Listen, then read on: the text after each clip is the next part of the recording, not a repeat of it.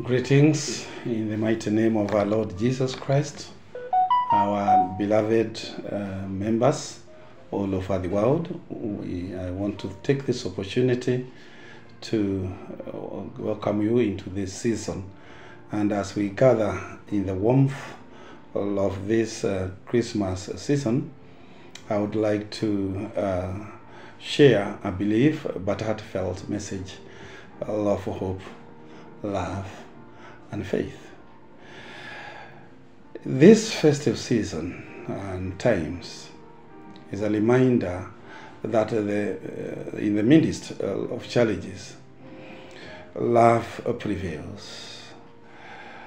Our faith is a guiding light that leads us through the darkest nights. it is a beacon of hope that reassures us that we are never alone because we are celebrating Christ, God, the Emmanuel.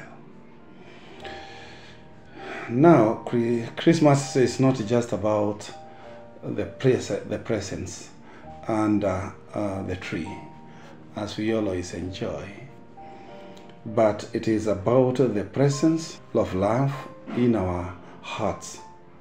It's a, a time to reflect on the gift of faith, the joy of sharing, and the beauty of giving, as it were, that our God gave us His only begotten Son during this uh, season.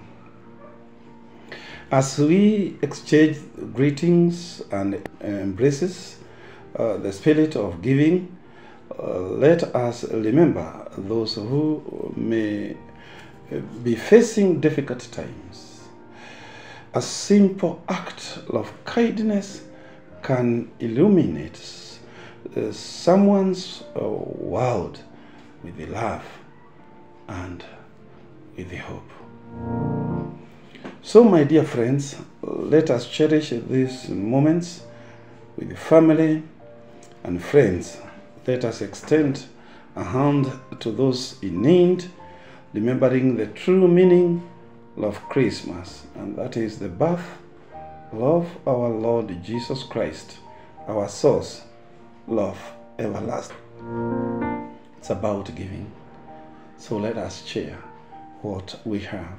May the love of this season fill your hearts, your homes with warmth, and may the light of faith guide you through the coming year as we continue looking forward into the new year, the year of the Lord 2024. Let us continue to spread love, to practice kindness, and strengthen the bonds that connect us as a global community and as a family. As your minister and as the minister of Word, Sacrament, and Order, I want to wish you a Merry Christmas filled with joy, with love, and the blessings of faith. May your hearts be merry and bright. May you enjoy with your families. I pray that you'll take care of yourselves, not to do things that you regret. Let us enjoy the goodness of Christ. Merry Christmas and a happy New Year.